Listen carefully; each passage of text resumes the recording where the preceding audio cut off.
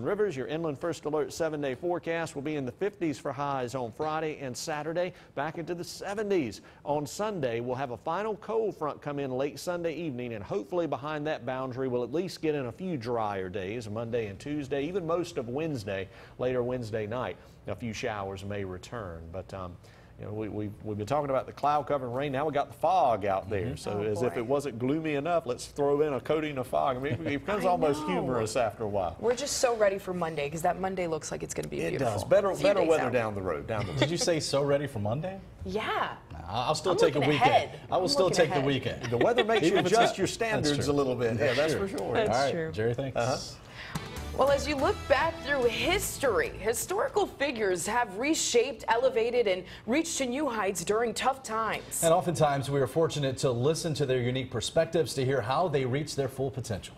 WNCT's Dominique Moody spoke with Dr. Paul Cunningham, a medical trailblazer who worked tirelessly to provide for all patients, including African Americans, right here in the East.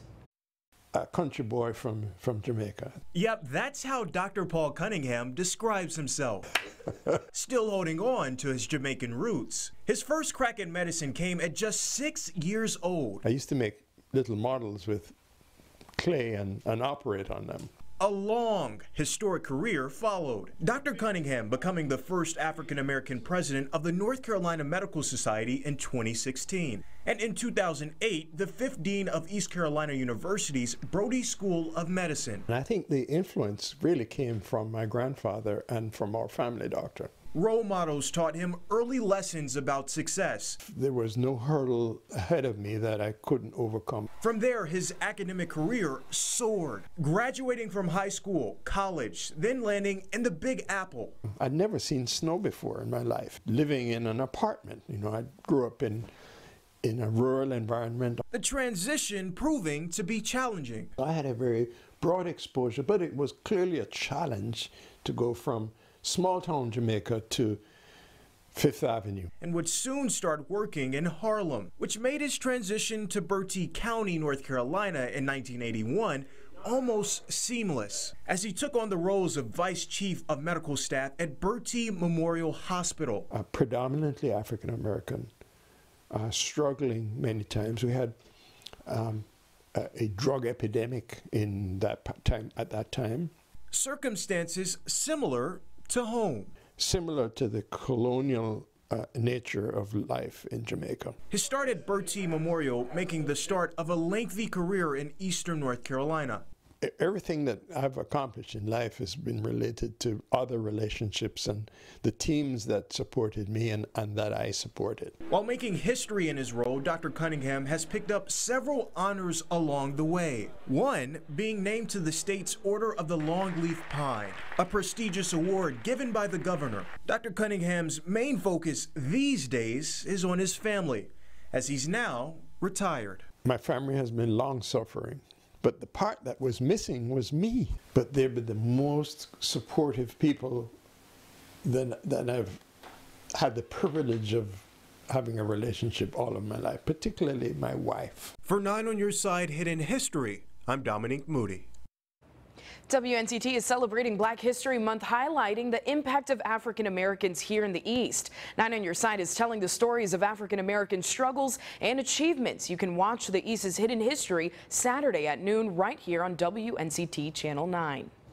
Still to come on your news at 5:30 in your consumer news. The retail giant Walmart hosting a special savings event for parents with small children and infants. Plus, Samsung, the world's top phone seller, has a new device for customers. Stay tuned. We'll be right back.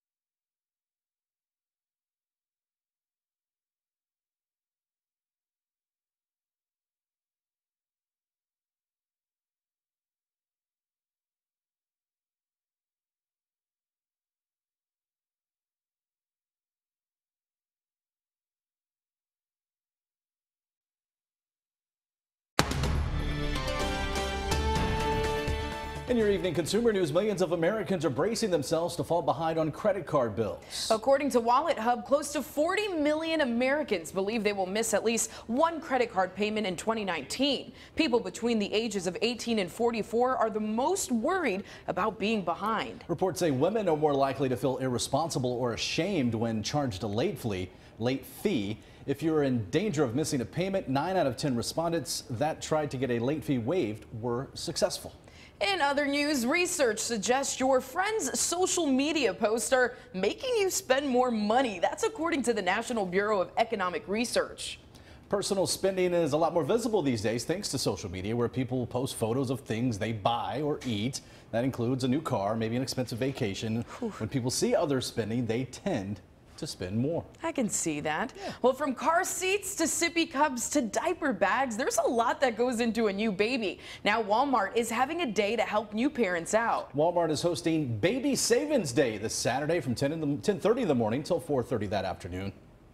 And Walmart stores from across the country will be hosting the largest in-store baby event of the year. There will, there will be rollbacks both online and in-store. More than a billion smartphones were sold globally last year. The world's top phone seller is out with a new device they hope consumers will flip for. Chris Martinez reports from Los Angeles. This isn't your father's flip phone. I can unfold it and instantly see the map on the big screen. Samsung unveiled a new device called the Galaxy Fold, a phone and tablet in one.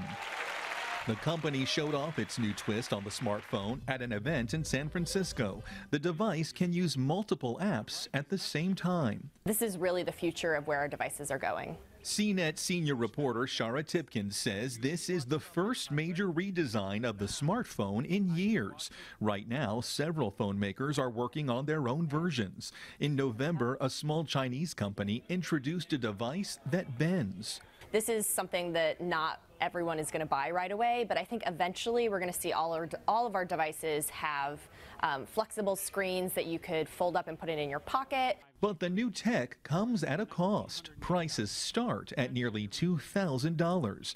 The Fold will have similar features as Samsung's latest update to its regular Galaxy phone. The Galaxy S10 the S10 has an improved camera and a new ultrasonic fingerprint scanner built right into the screen. There's also a 5G model, which is expected to be up to 20 times faster than today's phones.